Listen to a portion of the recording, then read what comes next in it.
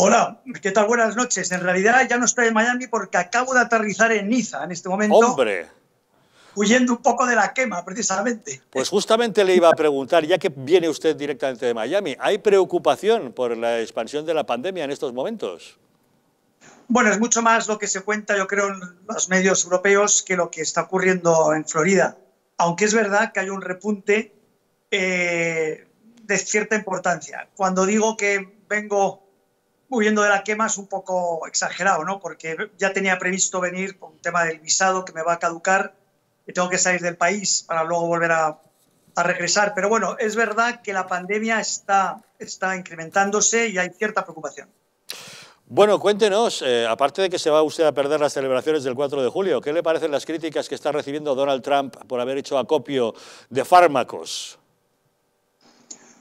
Bueno, Donald Trump es eh, la pieza a batir, ¿no? Eh, van a por él porque Donald Trump, eh, guste más o guste menos, pues eh, representa lo contrario a lo que a lo que están intentando pues el marxismo, el neocomunismo, el, el, fin, globalismo, todas estas fuerzas de, de, de, la mentira, sobre todo, ¿no? Y entonces, él, siendo una persona que, por supuesto, tampoco es perfecta, por desgracia, pero eh, es la pieza a batir. Entonces, eh, la exageración sobre la actitud de, de Trump y las políticas que, que lleva, pues es, es, es, brutal. ¿no? En cuanto a la compra masiva del medicamento, yo no le puedo responder porque no conozco este asunto. Si, de, si es verdad que ha comprado ha hecho acopio de todo el medicamento disponible, me parece fatal, claro está, pero dudo mucho que eso sea cierto, así de fácil, aunque no, no lo sé. Eso también tengo que decir que no conozco este asunto. Bueno, ¿qué quiere que le diga? Aquí en España, por ejemplo, nos ha dicho el Gobierno que tenemos existencias de remdesivir suficientes para nuestras necesidades. Si eso es así, no tenemos por qué criticar a que otro país compre esas grandes cantidades. Y si no es así, le pediría a mi Gobierno que hubiera sido tan efectivo como el de Donald Trump y que hubiera corrido para buscar un fármaco que seguramente nos hará falta a todos nosotros. Pero como usted dice, Donald Trump parece la pieza a batir. También está criticando mucho la alcaldesa de Washington porque ha querido mantener los fuegos artificiales sobre el National Mall en Washington con motivo del 4 de julio. Bueno, yo creo que las celebraciones que no suponen un peligro para la salud pública, pues eh, se puede mantener, ¿no? Efectivamente, hay que apelar un poco también a la responsabilidad de cada uno. Es que, eh, es decir, el Estado pues puede dictar unas normas, pero las personas tenemos que tener nuestra, nuestra, nuestra libertad de, en fin, de, de decidir, ¿no? Y eso es lo que ocurre en Estados Unidos.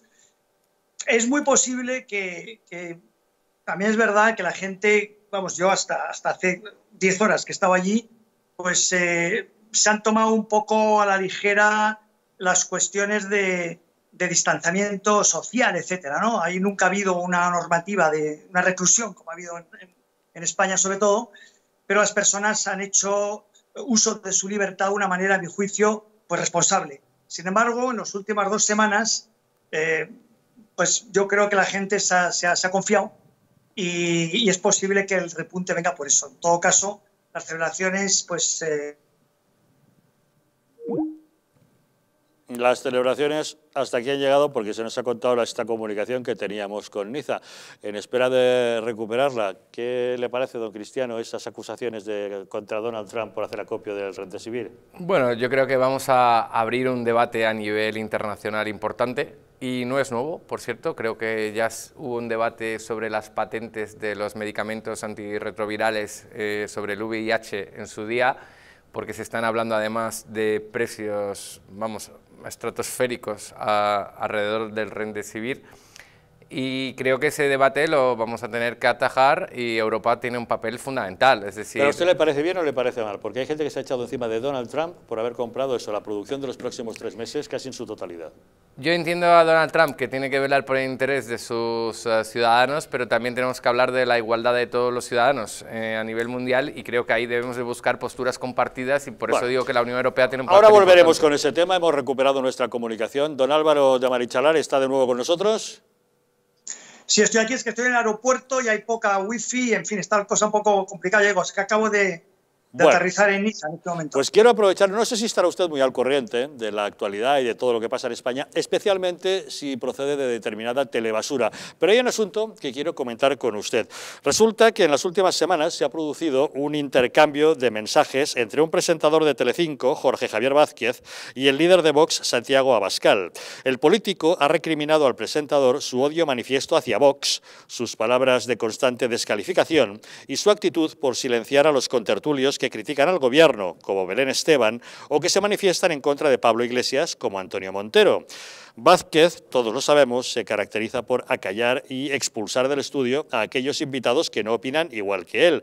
Pero eso es algo que usted mismo ya sufrió en sus carnes. Recordamos que en 2017 este presentador ya le insultó a usted, le llamó maleducado y aseguró que decía gilipolleces. Vamos a recordar ese momento. ¿Lo que. Sí, claro que sí. Porque es que no, no, porque es que en la camioneta has hecho lo mismo que contaba su, eh, Sabina Urraca en el, en el Sí, de la carquera. Subir, pasar de todo el mundo, estar con el móvil y no saludar absolutamente a nadie. Y aquí no escuchar al presentador, que soy yo, eres un maleducado. El- el- el Buenas noches, Álvaro. Adiós. Bueno, Venga, cambiamos de te tema. voy a- fuera. te voy a Venga.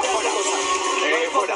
Vámonos con... Eh, ¿A quién tenemos preparado? No, no voy a soportar que estemos aquí hablando y este tío esté aquí diciendo gilipolleces. Ya le hemos dado un cuarto de hora, bastante ya la patochada. Ya está. No, venga, a tomar por saco, venga.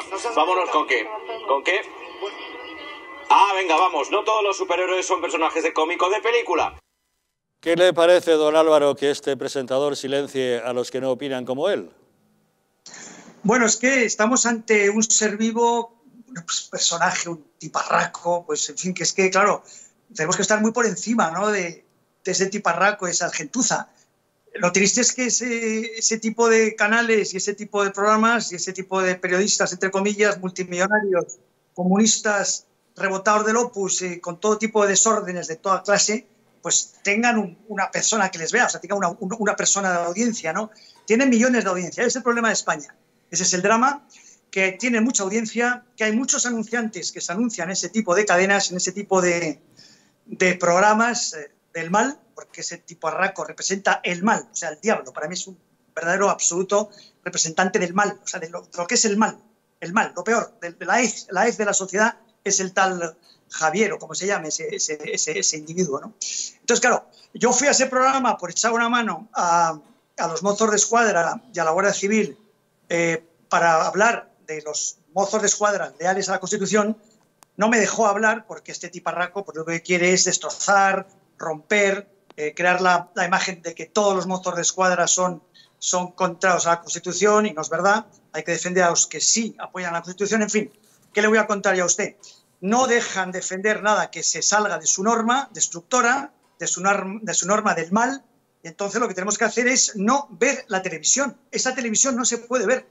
Es que no se puede ver. Es que quien ve ese programa o quien ve ese canal es gente que se está autotraicionando, que se está humillando, viendo a un diablo, a un tiparraco que en cualquier país europeo no tendría ni una audiencia de nada. O sea, nadie le haría caso a un, ser vivo así, ¿no? Entonces lo que tenemos que hacer es no ver la televisión, no ver ese tipo de televisión, claramente. El problema es lo, lo tiene la audiencia. Bueno, don Álvaro, ya que le pillamos en Niza, simplemente cuéntenos sus planes. ¿Tiene intención de volver a Miami? ¿Tiene intención de retomar la vuelta al mundo en moto acuática que se vio interrumpida cuando llegó la pandemia? Cuéntenos, ¿qué planes tiene? Efectivamente, mi intención es, en cuanto pueda, regresar a los Estados Unidos, al punto donde me he quedado, en Miami, pues regresar. Tengo que reactivar el visado, ya lo he reactivado una vez desde allí, pero ahora pues eh, tengo que reactivarlo ya en la embajada. Voy a ir a Madrid para hacer ese proceso y en cuanto pueda regresar, pues regresaré y en cuanto pueda seguir navegando, a seguir, seguir rumbo a Panamá, intentar cruzar el canal para subir a Alaska, Rusia y seguir rumbo a Asia. Van a ser muchos meses, va a ser mucho tiempo, pero en estas expediciones estos parones son normales, hay que asumirlos. A Magallanes y el Cano 1519 les pasó lo mismo en el sur de Argentina. Hay que tomárselo con filosofía, tranquilidad y seguir, seguir eh, adelante con la expedición y sobre todo, mucho más importante que la expedición, denunciando todo lo que está haciendo esta banda criminal de delincuentes que desgobierna España en la actualidad, para desgracia de España y del resto de Europa. Pues estamos deseando que pueda usted retomar esa expedición, entre otras cosas por una cuestión egoísta, porque queremos tener a nuestro corresponsal volante por todo el mundo, puesto que nuestra intención es seguir conectando con usted para que nos cuente la actualidad allá donde quiera que se encuentre. Don Álvaro, muchísimas gracias como siempre por acompañarnos en Los Intocables. Gracias, muy amable, muchísimas gracias. Hasta una próxima ocasión.